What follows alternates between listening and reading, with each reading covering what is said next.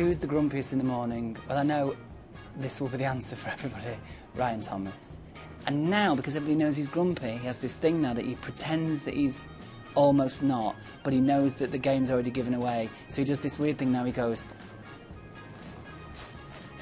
And he does this weird thing which means, I don't want you to come anywhere near me, but we're going to have to hug, so just... He does that.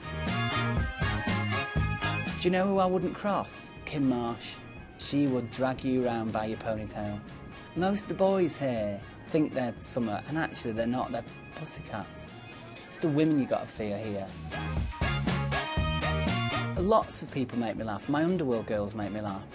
Ali King is very funny in real life. Ali King drunk is brilliant. I, you should all have an Ali King drunk in your life. Katherine Kelly does yoga, and I've heard that she can stick both legs behind her head. I tell you what I can do. Katherine Kelly does yoga. She's really good at yoga. I can do this. That apparently is really hard to do. Does that look impressive? I did this for comic relief, for a photograph. Can I do an impersonation of somebody drunk? Alison King, who is the most brilliant company socially.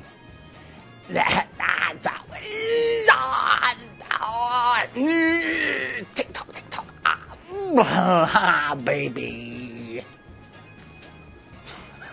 Imagine that for six hours.